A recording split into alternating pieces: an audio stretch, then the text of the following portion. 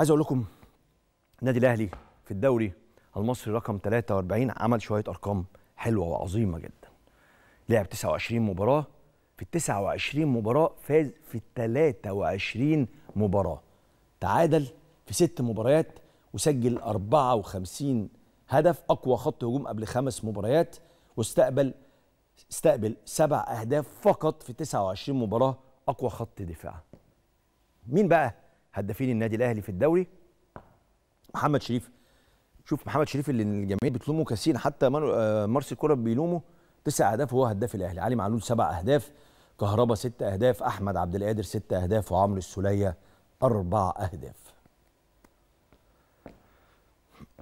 حدث ولا حرج عن النادي الأهلي وعظمة النادي الأهلي؟ مش عارف.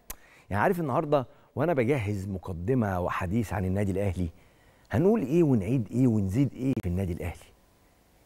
الجملة الشهيرة يعني الجملة الشهيرة لا جديد يحكى ولا قديم يعاد. هو النادي الأهلي بعاداته وتقاليده.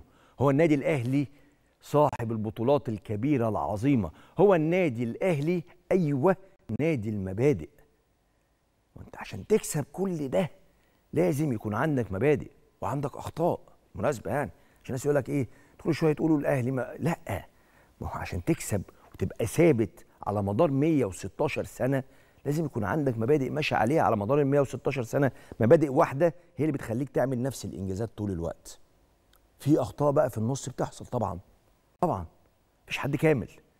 بس الأهلي الأكثر أو الأقرب للكمال دائما. دي حقيقة واضحة ما فيهاش مجال للشك. ألف مب- مليون مبروك. للنادي الأهلي. ده النادي الأهلي.